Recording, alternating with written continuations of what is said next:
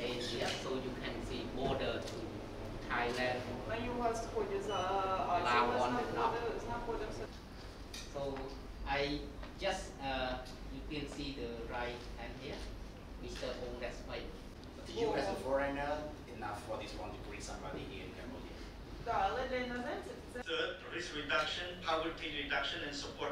កាលពី economic ថ្មីថ្មីកន្លងទៅនេះអង្គភាពស៊ីម៉ាដែលជាសេនាធិការរបស់រាជរដ្ឋាភិបាលកម្ពុជាក្រោមការដឹកនាំដ៏ខ្ពង់ខ្ពស់របស់សម្ដេចអគ្គមហាសេនាបតីតេជោហ៊ុនសែនបានផ្ដល់ការវឹកវើប្រកបដោយជោគជ័យលើវគ្គបណ្ដុះបណ្ដាលបច្ចេកវិទ្យាឧបករណ៍បោះសម្អាតមីនដល់អង្គភាពផ្ដល់សេវាកម្មរដ្ឋក្នុងគ្រាអាសន្នសម្រាប់ប្រទេសអ៊ុយក្រែន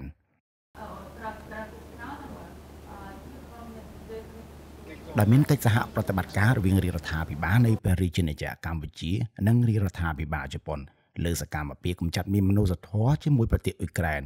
មជ្ឈមណ្ឌលសកម្មភាពកម្ចាត់មានកម្ពុជាហៅកាត់តាស៊ីម៉ាបានរៀបចំវគ្គវឹកវើបច្ចេកវិទ្យាឧបករណ៍បោះសម្អាតមីនជាពិសេសការប្រើប្រាស់ឧបករណ៍ឬមីនប្រភេទអាលីសដែលជាបច្ចេកវិទ្យារបស់ប្រទេសជប៉ុនជូនដល់មន្ត្រីបោះសម្អាតមីនប្រទេសអ៊ុយក្រែនចំនួន14នាក់ស្រី3នាក់ បញ្ហាក្របមីននិងក្របយុទ្ធភ័ណ្ឌមិនទាន់ផ្ទុះដោយសារសង្គ្រាមនៅលើទឹកដីនៃប្រទេសអ៊ុយក្រែនបាននឹងកំពុងបង្កគ្រោះថ្នាក់យ៉ាងធ្ងន់ធ្ងរដល់ជនស៊ីវិលហើយក៏ជាឧបសគ្គចំពោះប្រជាពលរដ្ឋអ៊ុយក្រែនដែលមានបំណងវិលត្រឡប់ទៅកាន់លំនៅឋានរបស់ពួកគាត់វិញដោយនេះកិច្ចការបោះសម្អាតមីននិងសំណល់យុទ្ធភ័ណ្ឌសង្គ្រាមជាសកម្មភាពមនុស្សធម៌ដ៏ចាំបាច់និងបន្ទាន់ដើម្បីធានាសុខសុវត្ថិភាពប្រជាពលរដ្ឋនិងគ្រប់គ្រងដល់ដំណើរការស្ដារឡើងវិញនៅហេដ្ឋារចនាសម្ព័ន្ធនានានិងដីសម្រាប់ធ្វើកសិកម្មទន្ទឹមនឹងនេះ កិច្ចការបោះសម្អាតគ្រាប់មីននិងសំណល់យុទ្ធភ័ណ្ឌសង្គ្រាមក៏ជាការកសាងទំនុកចិត្តរបស់ប្រជាពលរដ្ឋលើសុខសុវត្ថិភាពនិងការស្ដារជីវភាពរស់នៅឡើងវិញត្រូវការពេលវេលាយូរនិងទាមទារភាពអត់ធ្មត់ Batamang province is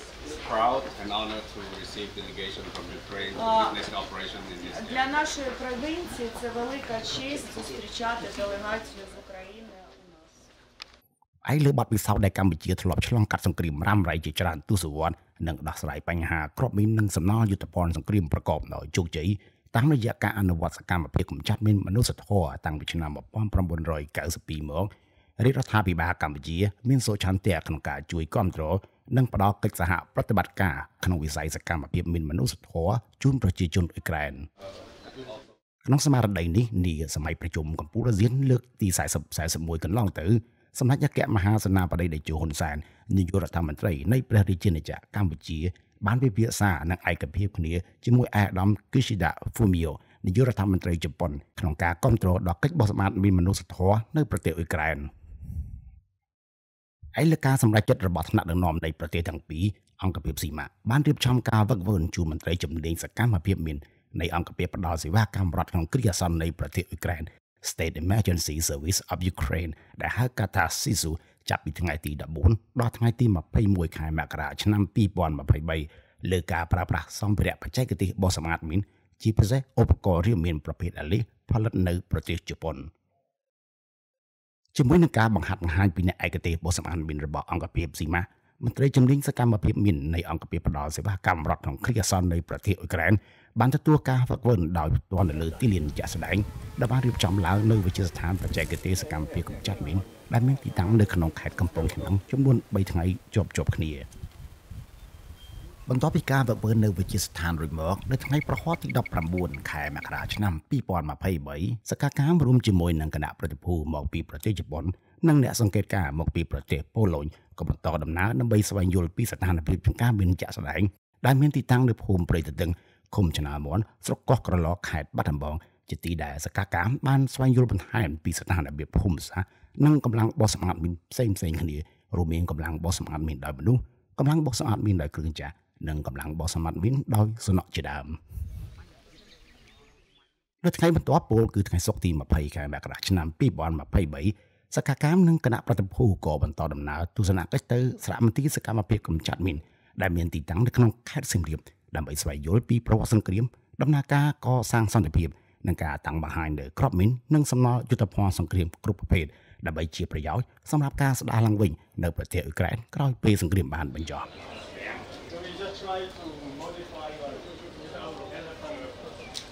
ជាលទ្ធផលក្រោយបញ្ចប់វគ្គវឹកវើសិក្ខាកាមក៏ដូចជាអ្នកសង្កេតការណ៍រួមជាមួយនឹងគ្រូឯកទេសស៊ីម៉ាបានវិតម្លៃខ្ពស់ចំពោះលទ្ធផលស្ដែងចេញពីការអនុវត្តផ្ទាល់នៃការប្រើប្រាស់ម៉ាស៊ីនលីសដែលជាឧបករណ៍រីមិនទំនើបដែលអាចឆ្លើយតបទៅនឹងតម្រូវការប្រើប្រាស់របស់អ្នកបោះសម្អាតមីនមកពីអង្គភាពផ្ដល់សេវាកម្មរដ្ឋក្នុងគ្រាអាសន្ននៃប្រទេសអ៊ុយក្រែនដើម្បីរំដោះដីដែលទទួលរងដោយសារគ្រាប់មីននិងសំណល់យុទ្ធភ័ណ្ឌសង្គ្រាមនៅតំបន់ប្រយុទ្ធ ក៏ដូចជាផ្នែកផ្សេងទៀតនៃប្រទេសអ៊ុយក្រែន